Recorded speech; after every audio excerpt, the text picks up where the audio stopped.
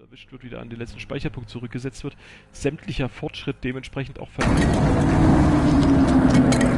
Das, äh...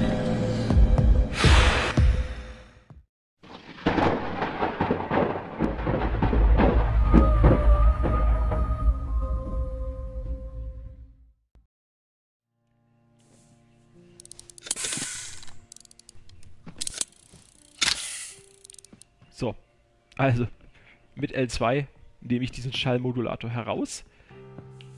Ich will ihn jetzt allerdings nicht aus Versehen verwenden. Auch im letzten Stream habe ich das Ding wieder aus Versehen verwendet, ja. Ich bin mir nicht sicher. Oh. Auch das ist jetzt vielleicht fehl am Platz gewesen. Aber ist egal. Ist nicht so schlimm. Alles nicht so schlimm. Ja. Wenn man leider immer wieder so nach einer Woche nicht spielen checken muss, wie war die Steuerung und so weiter und so fort, dann passiert das halt. Was haben wir denn hier? Wer bist du? Das. Also wer ich bin, weiß ich, aber wer bist du? Egal. Wir sind auf jeden Fall immer noch im Scare Hotel. Wir befinden uns dann jetzt im zweiten Stockwerk, wo wir auch hinwollen.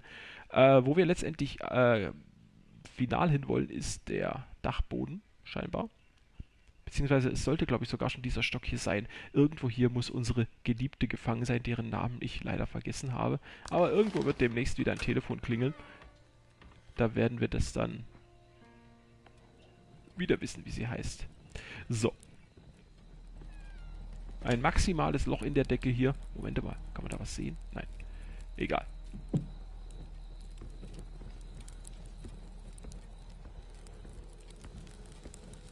Auch hier wieder ein kleines bisschen umgucken natürlich, wie wir das vom Spiel gewöhnt sind. Steht irgendwo ein Fläschchen rum mit einem tollen Getränk. Da muss ich jetzt sogar mal gucken, habe ich jetzt... Ja, ja, ich habe jetzt natürlich das einzige getrunken, was ich hatte. Hoffen wir natürlich, dass wir vielleicht nicht gleich wieder in Konflikt geraten. Ich weiß jetzt nicht, wie Onkelchen drauf ist, der jetzt hier oben rumschwirrt und uns den Schlüssel ja vor der äh, Nase weggeklaut hat. Äh, ob der so eine Art Endboss ist, ob wir gegen den irgendwas tun können ob wir, oder ob wir uns vor dem auch bloß verstecken müssen. Elizabeths Pläne für das Gegenlied. Das Gegenlied gegen das Lied, das alle verrückt machen soll wahrscheinlich. Meine Weigerung zu singen hat mein Vater zwar frustriert, aber mehr als eine Verzögerung seiner Pläne ist damit auch nicht erreicht. Jetzt ist er damit beschäftigt, einen Weg zu finden, wie er die Ausnahme vom Gesang, die Aufnahme, Entschuldigung, die Aufnahme vom Gesang der Kreatur mit einer seiner Gerätschaften abspielen kann. Okay, das Problem haben sie offensichtlich nicht gefixt mit dem Update, dass das hier so überaus empfindlich ist. Egal. Es muss die Möglichkeit geben, den Gesang entgegenzuwirken, seine Wirkung abzuschwächen oder ganz aufzuheben eine Melodie oder ein Lied als Gegenmittel dazu, sozusagen ein Gegenlied. Ich werde Hilfe dafür benötigen. Doch wie soll ich... Hm, wie soll ich vorgehen? Ich kann nicht riskieren, das äh, schreckliche Lied in die Außenwelt zu tragen. Vielleicht könnte ich es ja in mehrere Teile aufteilen, wie es auch Vater bei seinen Aufnahmen tat. Gemacht hat. Jetzt habe ich gemutmaßt, wie der Satz enden könnte, aber naja. Egal und dann vier verschiedene Komponisten damit beauftragen. Nur wen soll ich darum bitten? Natürlich meinen geliebten Thomas, das bin ich, also er, der Charakter. Aber wen sonst? Also es muss außer uns noch jemanden geben. Also wir sind Thomas Evans, dann ist da Matilda Norton, Arthur Morris und Henry Hughes. Äh, ja, ich weiß, ich habe das Spiel schon eine ganze Weile gespielt.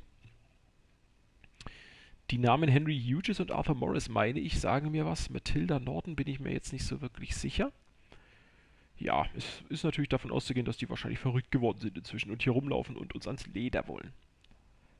Oder auch nicht. So, jetzt habe ich auf jeden Fall diese Aufzeichnung. Wir sind jetzt hier. Ich sollte vielleicht mal jene Tür durchschreiten, aber vorher... Warte mal, was ist das? Das ist gar nichts. Okay, sehr schön. Vorher gehe ich mal, also jetzt gehe ich mal durch diese Tür.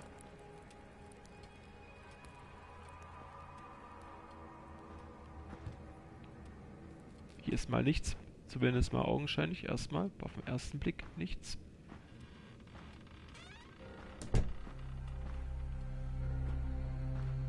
Okay, also ein relativ sinnfreier Raum. Es sei denn, man könnte dieses Bild... Nein. Okay. Da. Flasche, Handtuch, irgendwas nehmen. Nichts. Klospülung betätigen. Ja, Wasser aufdrehen. Wie bei Layers of 4.2. Auch nicht. Alles klar. Dann ist dieser Raum jetzt auch mal erledigt. Alles klar.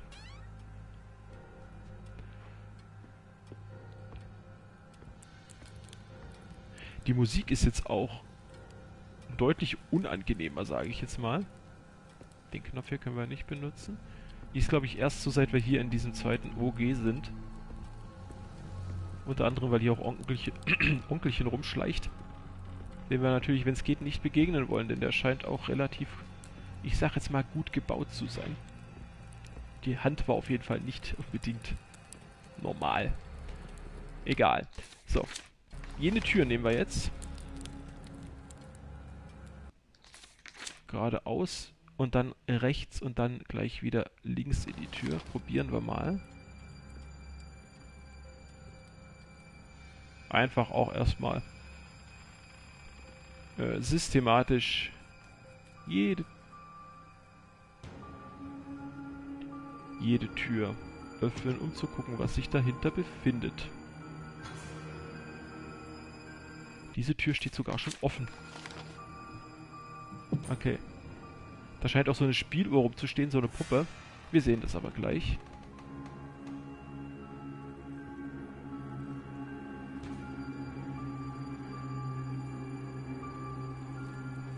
Und warum ist da ein solches Lichtlein an? Vermutlich genau darum, um dieses Ding zu beleuchten. Wenn ich das jetzt wegnehme, ist der Schatten weg. Dann wird bestimmt irgendwas aktiviert. Nö, nicht. So genau ist das Spiel dann auch nicht. Sehr schön.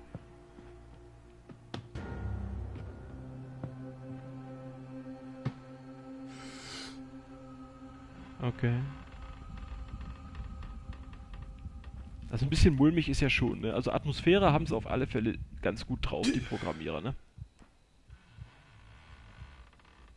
Das äh, war ja auch in Don't Knock Twice schon der Fall. Da war die Atmosphäre auch sehr gut, zumindest mal in der VR-Version. Ich habe ja nur die VR-Version gespielt.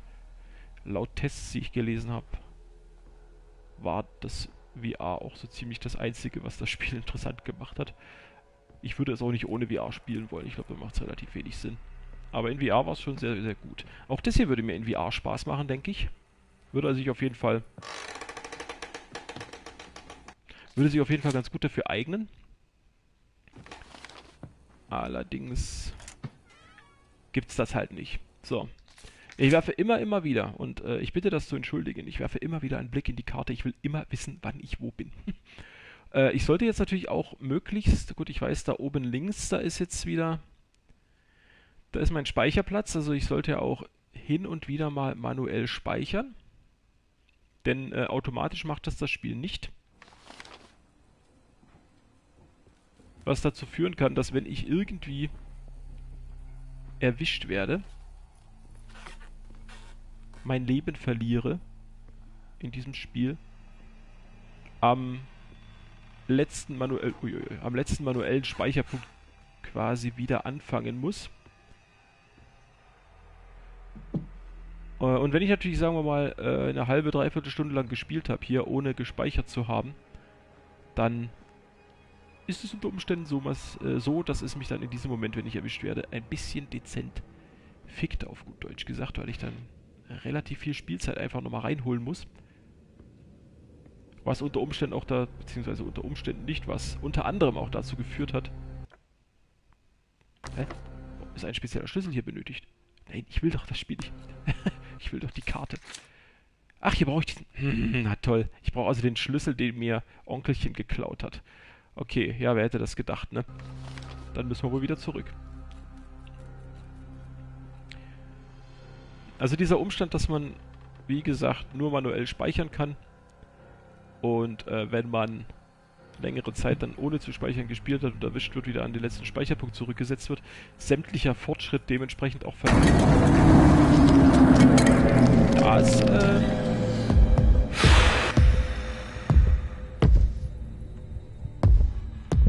Ja. Okay.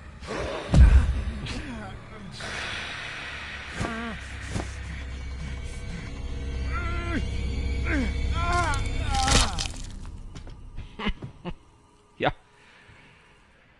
Also bis jetzt haben wir heute ja zumindest mal keinen nennenswerten Fortschritt gemacht.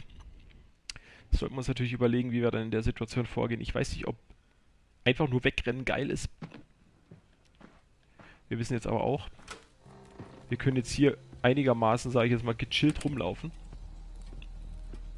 Ohne uns Gedanken zu machen. So. Das haben wir ja gelesen vorher. Auch jetzt mache ich trotzdem alle Türen auf, obwohl ich da auch schon gewesen bin. Ich kann jetzt auch hier trotzdem nochmal einen genaueren Blick werfen, falls noch irgendetwas nutzbar wäre. Aber ist egal, ist nicht der Fall. Das Bild da oben können wir nochmal lange und intensiv anstarren. In der Hoffnung, dass es mit uns spricht oder so. Nö, macht's nicht. Ich hab's aber auch nicht lange und intensiv angestarrt. So. Da ist ein Tablett, welches leer ist. Sonst ist hier nichts Interessantes.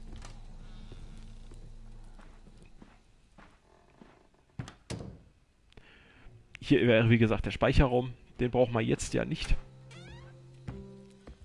Sollten wir allerdings ohne Onkelchen jetzt zu begegnen irgendwelche wichtigen Sachen hier finden, irgendwelche Gegenstände in erster Linie, dann wäre es natürlich ratsam, wieder speichern zu gehen.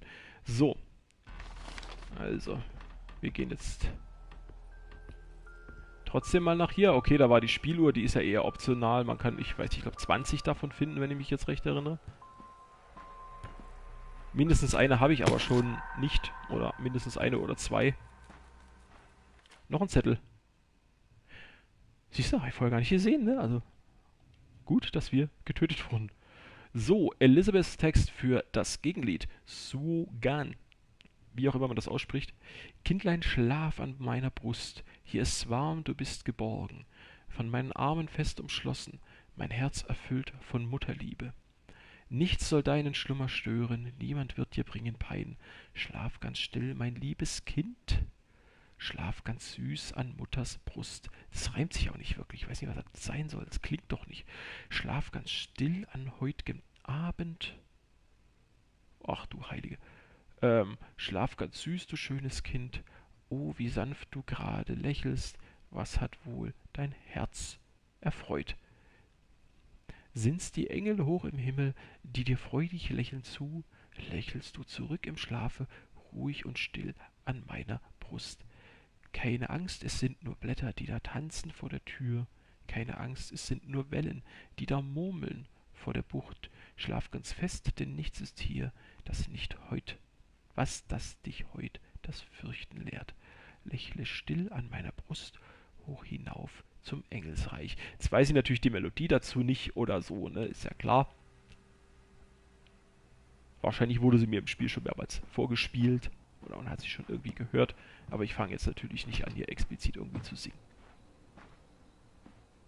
Wir sind ja nicht bei Superstar hier. So, also, was haben wir gelernt? Wenn wir davor gehen, nee, wenn wir davor gehen, kommt dann Onkelchen. Erst wenn wir durch die... Ah, ja, ja, ja, ja, ja. Hm. Wenn wir... Moment. Ich muss jetzt trotzdem nochmal prüfen. Also hier... Wir wollten dahin und dann kam er, glaube ich, dadurch... Nee, da kam er nicht durch die Wand. Erst Erst hier vorne links kam er durch die Wand. Das heißt, wir können eigentlich hier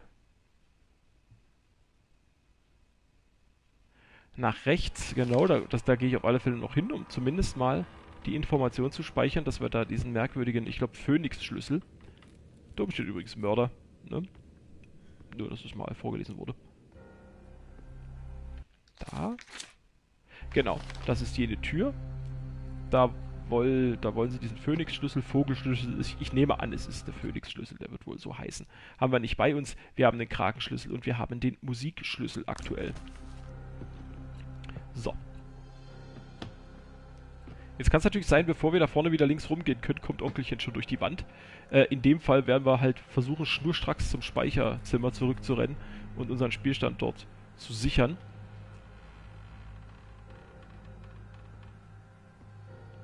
Das hier können wir wahrscheinlich erst später irgendwie benutzen als Abkürzung, denke ich mal.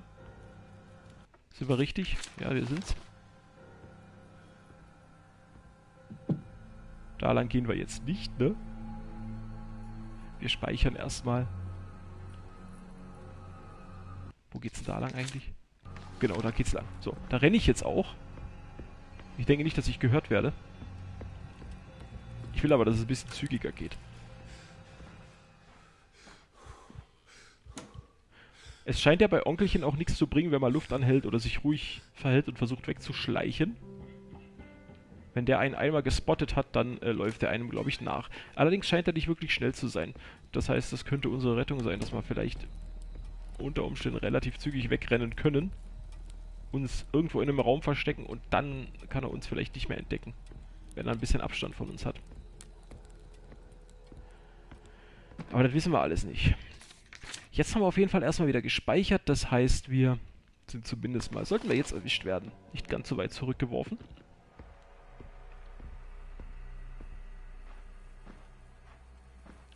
So, dann gehe ich jetzt nämlich mal hier oben lang. Beziehungsweise ich benutze mal jene Tür. Da müsste er aber eigentlich dahinter sein. Also wenn ich das, die Wand, durch die er gekommen ist, ist ja eigentlich die Wand, ja, da unten, also ich kann nach wie vor leider, das wäre auch noch so eine Sache, die hätten sie eigentlich mittels eines Updates oder eines Patches irgendwie regeln können, dass man auf der Karte hin und her scrollen kann. Also ich kann euch, ihr seht, wo ich stehe, das ist der Pfeil. Darunter ist das schwarze Quadrat. Also das ist ein Raum, der offensichtlich nicht zugänglich ist oder irgendein leerer Raum.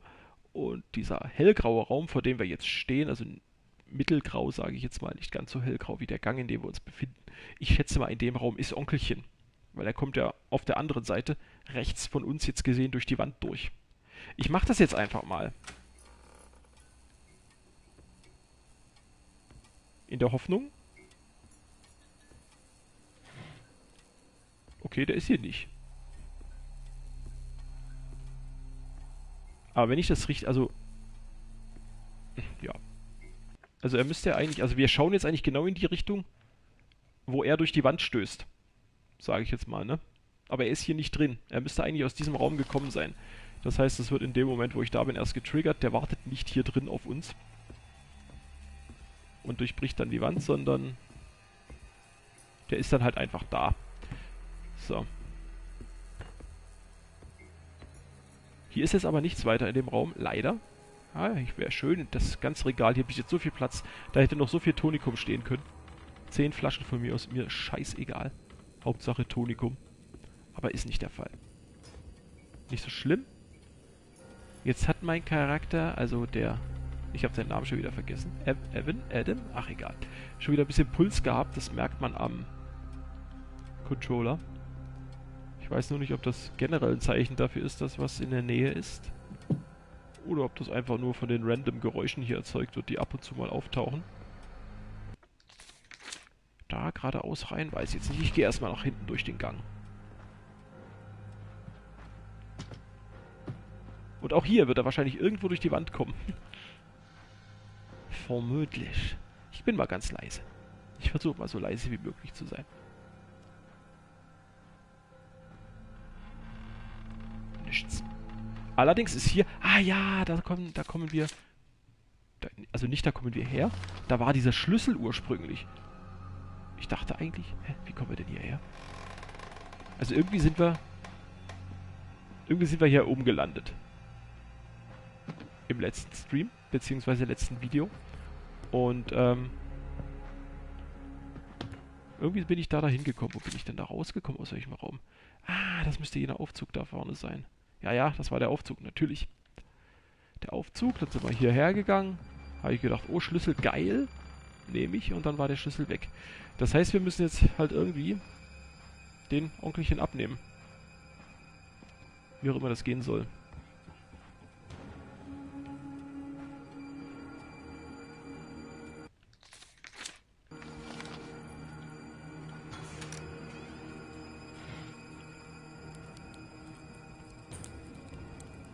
Auch dieser Raum kommt mir bekannt vor. War ich das schon? Der Vogel? Die Tür? Ah, natürlich kommt er mir bekannt vor. Bin ja da durchgekommen. Auf dem Weg vom Aufzug daher. Das war trotzdem nicht schlecht. Ich prüfe einfach alles nochmal nach. Ist ja auch gut, wenn ich meinen Fluchtweg vorher nochmal irgendwie gesehen habe. Genau, da ist jener Aufzug. Hier sind Kerzen aus irgendwelchen Gründen. Ich weiß es nicht. Irgendwas wird hier... Oder ist das der Aufzug? Irgendwas wird hier äh, angebetet. Keine Ahnung. Also auf jeden Fall diese Made of Scare-Geschichte. Ja, dieser Gesang. Ja, die... Den Gesang, den unsere Geliebte hier vollführen soll, was sie aber nicht will. Und was es auch für ein Wesen ist, dass sie da irgendwie von einer Seefahrt äh, mitgebracht haben wollen, habe ich ja auch noch nicht gesehen bis jetzt nur in Textform beschrieben. Ich kann auf jeden Fall nicht genau sagen, was das für ein Vieh sein soll. Na gut. Telefon. Geradeaus da. Genau, da kommen wir nicht durch. Das heißt, wir haben eigentlich keine Wahl, außer jetzt äh, eben uns von Onkelchen da quasi verfolgen zu lassen. Frage ist natürlich, wohin flüchten wir?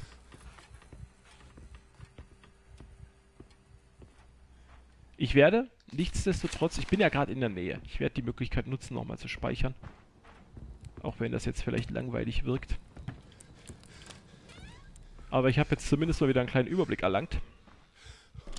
Über die Räumlichkeiten. So.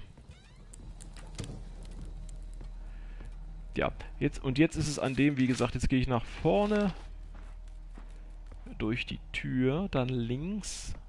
Da wird Onkelchen durch die Wand stoßen und dann muss ich einfach nur rennen. Ne? Genau da lang. Jetzt ist natürlich die Frage, wenn ich dahinter flüchte, da ist eine Tür mit einem Schloss, eine Tür mit einem Schlosssymbol, die werde ich eventuell nicht öffnen können, eventuell aber vielleicht doch mit einem Schlüssel, den ich bei mir trage. Ansonsten wäre da noch ein kleiner äh, quadratischer Raum. Schauen wir mal.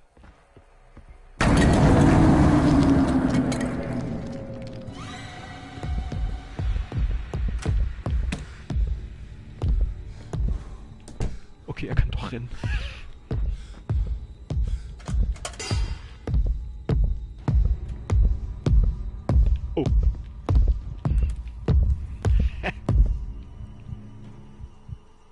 Du kannst dich aber nicht ducken, oder? Oh, der ist verdammt schwer, der Typ, oder hat irgendwelche Betonlatschen an. Ich lasse den erstmal ein bisschen. Moment. Ja, mach mich tot. Egal.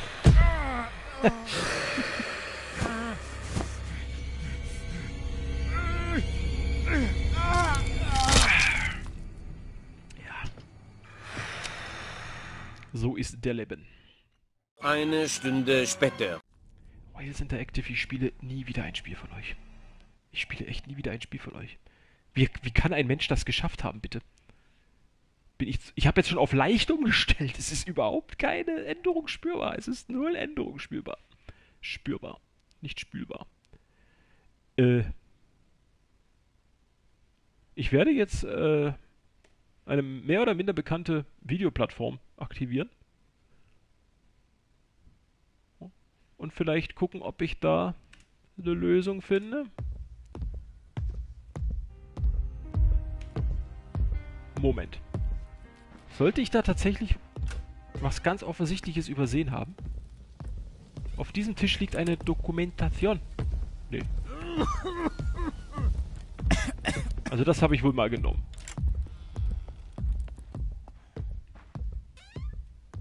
Also falls irgendjemand zuschauen sollte jetzt gerade, was ich gemerkt hätte, glaube ich. Ich gucke mir jetzt neben mir hier eine Lösung an, weil ich selber nicht weiß, was das Spiel von mir will. Wo ich hin muss, was ich tun soll. Ah ja, ja, es ist purer Hass, dieses Spiel. Also.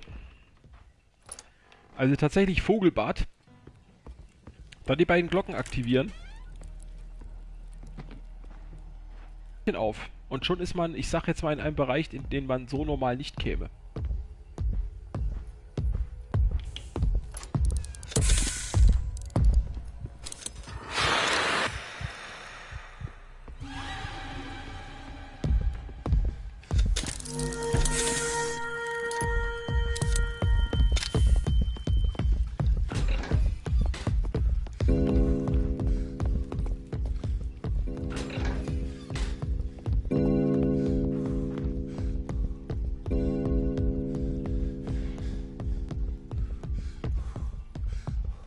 Sollte jetzt was aufgehen. Zumindest mal. Hallo? Streaming-Status schlecht, naja, auch gut. Mir doch egal.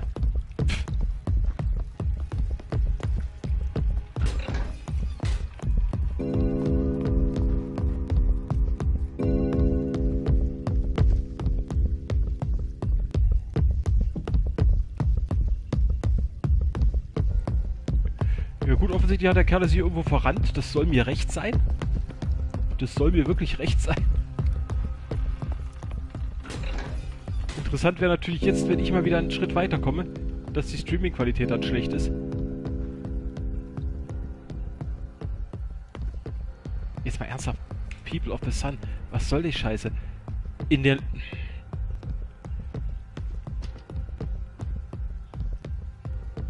Ich gucke mir ein Walkthrough an, mache genau das, was in dem Walkthrough stattfindet. Und es ändert sich nichts bei mir. Es muss doch irgendwas anders werden. Hier, dieses Tor sollte jetzt aufgehen. Laut diesem Walkthrough. Jetzt? Ach so, muss ich das also richtig machen? Okay. Ja, wir nutzen die Gelegenheit. Wir sind ja jetzt ein Stück weiter. Äh, es gibt hier wohl einen Speicherraum in der Nähe. Eben jener. Da werden wir jetzt speichern. Und uns gleich, zugleich die Datei anhören.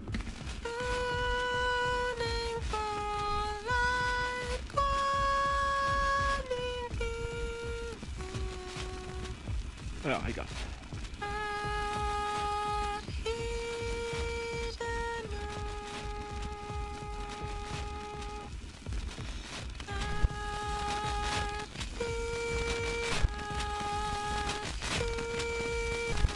Platte hat einen Sprung, wa? Zumindest mal der Datenträger.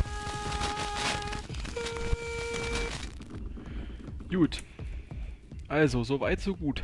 Sollte man das riechen können, dass nach Benutzung dieser zwei Glocken da eben halt ein Tor aufgeht. Wenn das natürlich sofort aufgegangen wäre, dann hätte ich das vorher schon gesehen, aber man muss tatsächlich 3, 4, 5 Sekunden warten, bis das aufgeht. Es ist ja der Hammer. Hä? Ich speichere gleich nochmal. Einfach nur zur Sicherheit, dass es auch gespeichert hat. Dann gehe ich wieder raus. Dann ist ja hier gegenüber was. Das sieht allerdings wieder nach einem noch einem Schlüssel aus. Okay, ich brauche nach dem Vogelschlüssel noch einen anderen Schlüssel. Schön ist es, schön. So, großer Raum. Lass mich raten, hier ist ein Esstisch. Oder irgendwas. Wo bin ich denn eigentlich? Ah ja. Ja, zumindest sind wir jetzt hier mal ein Stück weiter. Das ist ja schon mal ganz gut. Da haben wir auch wieder was zum Trinken. Das ist auch sehr gut.